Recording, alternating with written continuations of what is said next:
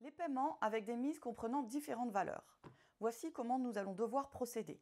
L'idéal, l'idée surtout, c'est de minimiser les allers-retours dans votre encaisse.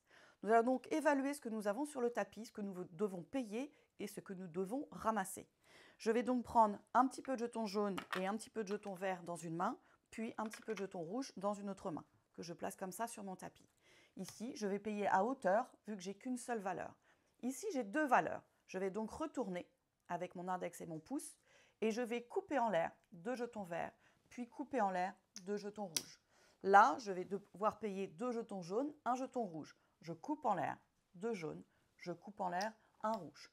Ici, sur cette case, nous allons imaginer que le joueur est perdant. Je vais donc ramasser rouge, main gauche, vert, main droite. Pour une mise comme celle-ci, qui est un petit peu plus compliquée à payer parce qu'il y a quand même quatre valeurs différentes, je vais devoir les tabler pour vérifier le montant de la mise. 180. Je les remonte, puis je vais les préparer devant moi. Je vais les tabler 180 pour les 180 et les poser à côté.